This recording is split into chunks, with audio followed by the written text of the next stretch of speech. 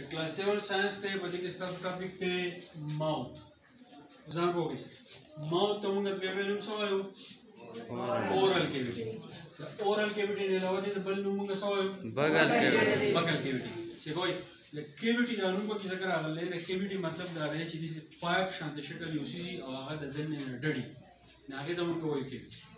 اوس موږ د خپل خولې ته وګورئ دا دنې نه جلا ډړه اوس باندې کې غاښونه هر څه دي خو دا خو چې تاسو وایي کنه ډډه نو ځکه ویل کېږي دا څه دی چې ماو ته موږ بل نوم وایو اورل کیویټي یا بکل کیویټي دا درې نومونه چې کله راشي د دې مطلب دی خوله خو یاد وساتئ یوازې خوله نه خوله کې چې دی غاښونه جبه او لاړې دا درې څیزونه به تاسو یاد ساتئ ٹھیک شو اوس موږ ډایجسټیو سیستم وایو نو باقي د ماوت اورل کیویټي یا د بکل کیویټي کار سره ځان ته وګورئ نو اولنې کار دا دی کوم خوله چې دا په دې کې د فود انټری کیږي خوراک انټری کیږي چې کله ډایجستیو سیستم نظام انهضام چې کله شروع کیږي نو هغه د خوراک د شپون نه شروع کیږي خوراک شپون به کله چې کله موږ په خوله کې چې د مړۍ کیو او موږ غاښونه باندې چې شپون وو ګوره پوه شوې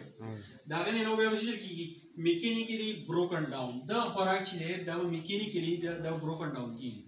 مطلب دا دی چې چې لکه ماشین چې څنګه کار کوي زموږ د غاښونو هم دقه د ماشین په شان کار میکینیکلي بروکن ډاون مطلب دا دی کم خوراک چې په خوله کې کېدو د غاښونو چې دی په دې باندې موږ شپن شروع نو د غاښونو چې دی دا د ماشین په شان کار کوي نو خوراک چې دی دا بالکل ریزه ریزه او ذره ذره شي د شو ولې زره زره دا چې کله پاس کیږي پیګونه چې ډېر زیات تنګي دا چې کله رګونه دي چې نه هغه چې شاملي نو ضروري خبره ده د خوراک چې دا زره زره چې بیا وسې کیږي سلیوري ګلند زموږ په خپل کې د لاړو د پاره یو سیس موجود دی چې هغه ته ویل کیږي سلیوري ګلند ګلند چې زموږ په جسم کې شل ګلندز دي دا د جسم داسې حصې دي چې دا زموږ د جسم پټې مسلې چې دی هغه حل کوي خو د ګلند دا چې لوګي چې د دغه خوراک د پستولو لپاره چې لاړې پیدا کیږي نو خوراک دې بالکل پوش شي غاښونو ته اساني پیدا شي نو خوراک دې په صحیح طریقه باندې چې به ملي کیږي نو چې چل وشي دا خوراک چې دا زموږ سره بالکل سافټ شي نرم شي او سلیپری سافټ او سلیپری مطلب دا دی چې بالکل نرم شي نو چې کله دا موږ تیرو نو د دې نه به اسانه باندې چې پاس کیږي